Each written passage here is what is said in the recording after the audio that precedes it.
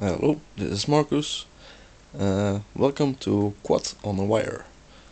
Uh, you see a wire there, and the quad is balancing these things.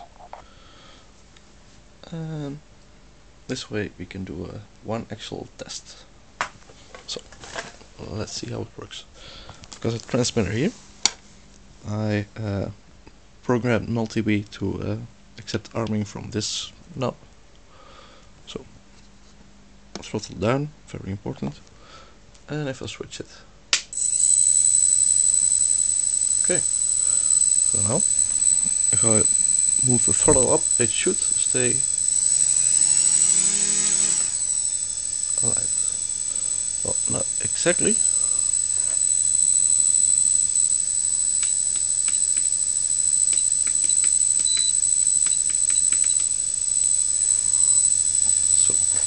Okay, I also confused myself. Uh, let's look what axis it is. It's the front.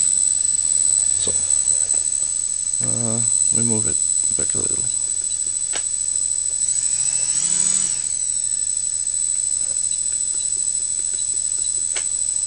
Back a little.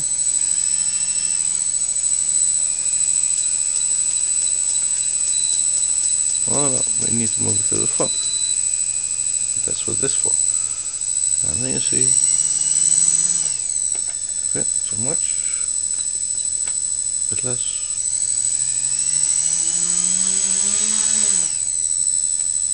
Still a bit less.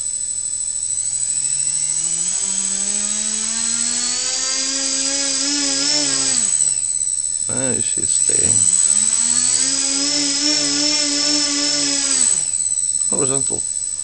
So, uh, that's how you do a wire test. Thank you, and bye bye.